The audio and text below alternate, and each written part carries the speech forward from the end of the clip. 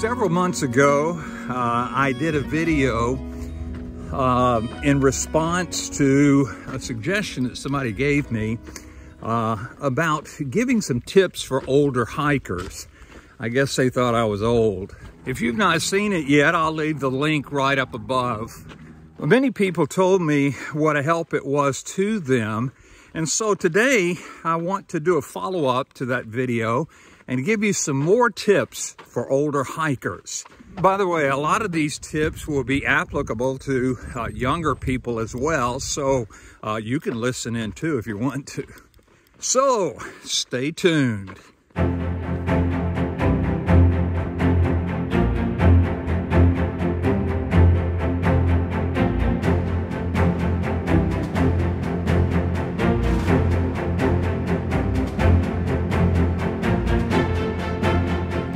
Tip number one, don't be a grumpy old man or woman. Just don't be a grumpy hiker, period. It seems like the older that we get, sometimes uh, we have a tendency to get grumpier. Get off my lawn! I often say that the trail is not all rainbows and unicorns. There's some hard uh, times, but you don't have to be grumpy about it. You don't have to complain and gripe and bellyache. Basically, everything is relative. Uh, what may be a hard trail for one person may be an easy one for another person. What may be enjoyable for one person may be miserable for another person. And so learn to be a satisfied, learn to be a happy hiker. It's just like the old adage, you can either complain about the glass being half empty or you can be happy that it's half full. It's up to you. So you can complain about all the conditions of the trail or you can just be thankful that you're able to be out and hiking. So don't be a grumpy hiker. In the Bible, when Moses was leading his people uh, out of Egyptian captivity uh, towards the promised land, he uh, was telling the people and he was uh, preaching to them about complaining all the time. And he said, in the morning, you say, would God it was evening, and then the evening time, you say, would God it was morning. And so again, Moses had a problem with his hikers. Number two, pull from your life experiences. Uh, being older, of course, uh, older hikers have more experiences in life than younger hikers hikers do, and so uh, basically we have an advantage uh, over younger hikers. And so uh, pull from those life experiences. Even though you may not be an experienced hiker, as an older hiker, uh, you can apply a lot of life lessons uh, to hiking and backpacking on the trail. When you come up to a problem on the trail, uh, you can think back on how you handled something uh, when you were going through that same situation in life. That's what wisdom is. Wisdom is just taking uh, the experiences that you learn uh, from life and just applying them to situations that you come up to. And so it's the same thing with hiking. Just use the vast amount of experience that you've had in life to be a wiser hiker. Number three, as an older hiker, take advantage of your sleeping patterns. Now, what I mean by that is when you get older, uh, it seems like you don't sleep as much as you did when you were younger. I always have problems sleeping on trail. And so instead of tossing and turning all night, I take advantage of it and uh, go to bed earlier and wake up earlier and uh, hike rather than toss and turn. On the last part of my uh, PCT journey, uh, I was I was I got into a pattern of getting into camp about six o'clock in the afternoon uh, eating, setting up camp, uh, and then uh, going to sleep by uh, 8 o'clock. Then I would get up at about 4 o'clock in the morning and get everything packed up uh, and get on the road by, by 5. And so I wasn't hiking as fast as younger hikers uh, did, but I did hike longer hours than they did because I wasn't sleeping as long as they were. Now, sometimes after lunch, I would uh, uh, take a siesta, which is a, a fancy word for nap. But as an older hiker, I would uh, get in more hours uh, on trail uh, because of my not being able to sleep as much as I did when I was younger. Next number, number four, take advantage of your time off. When I was working, uh, there's no way that I could take off for five and a half months and six months to do a long distance trail. And uh, the most that I could take off really was about three or four days. And so I did some short hikes during that time.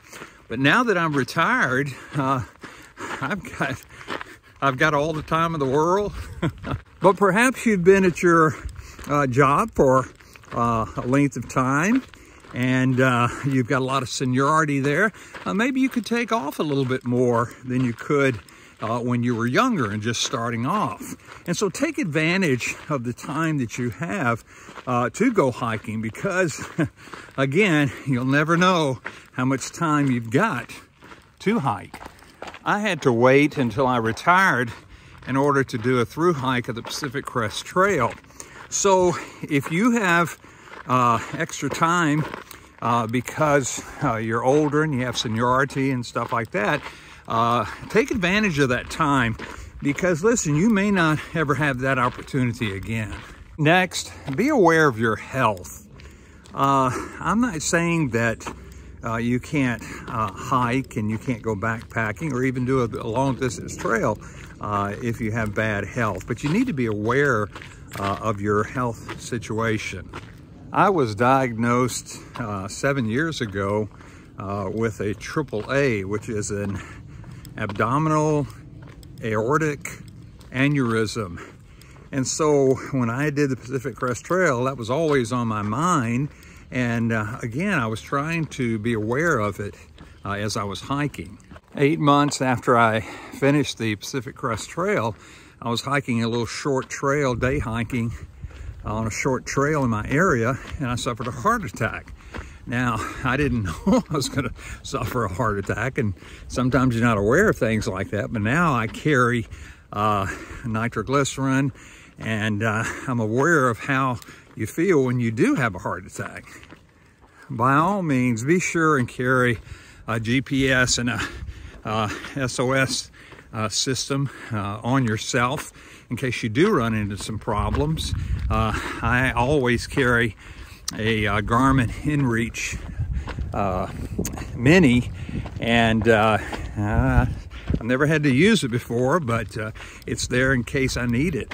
If you have diabetes, just uh, be aware of, of the situations that come with diabetes, and when you're hiking, take precautions.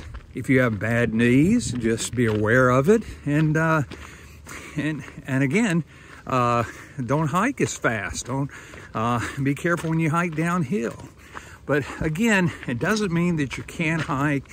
Doesn't mean that you can't do things. You just have to be aware of it and compensate for bad health. Number six, uh, this is a good one. Don't forget your meds. As an older hiker, you probably are taking more medications than you did when you were younger. I've got about seven medications that I take. And so when I go on a hike, I have to make sure that I bring all my meds with me because uh, I'd hate to be out on the trail uh, without them. I usually put uh, my medications in snack bags and uh, then put uh, all of the snack bags in a larger, maybe quart size or gallon size, whatever, and just put that in with your uh, food bag. So don't forget your meds. And if you need to get some more on trail, you can always go into a trail town and uh, perhaps maybe have the uh, pharmacy there in the trail town uh, to fill the prescription for you, or you could have a pharmacy that you normally deal with to send it to uh, a post office.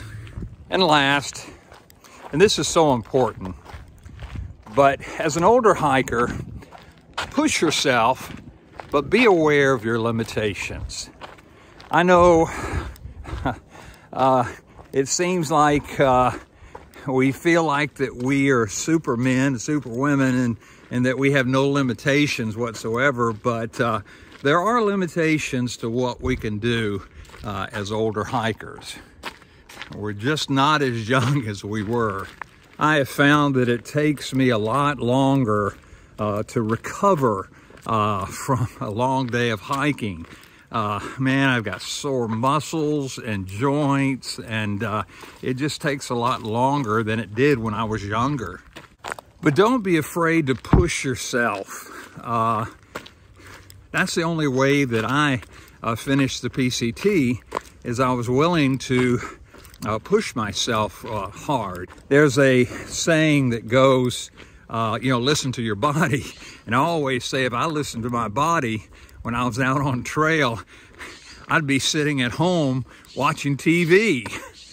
So push yourself and uh, strive for that extra mile, strive to go a little bit longer, uh, strive to go a little bit higher, and uh, but be aware of when to say no, uh, you can't.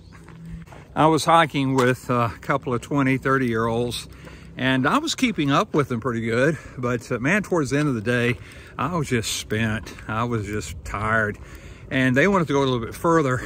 And so I just had to tell them, uh, look guys, you guys go on. I'm gonna stay right here. And uh, there was a good campsite there, by the way. Uh, I'll just stay here and camp. And you guys so go ahead and I'll catch up with you later. And by the way, I did. But as an older hiker, don't get yourself in a situation where you have to call uh, 911 or push the SOS button. Don't be that person. but if you have to, do it. Now, I hope you enjoyed these and I hope they uh, uh, help you out now or help you out in the future when you plan on doing a hike. But if you've not subscribed to my channel yet, please be sure and do so. And uh, give me a thumbs up, leave a comment below. If you have a question, uh, be sure and uh, leave the question in the comment section and uh, I will get back with you as soon as possible. Now, if you want to learn a little bit more about things that I've learned, uh, be sure and check out those videos right there. And uh, until next time, I will see you down the trail.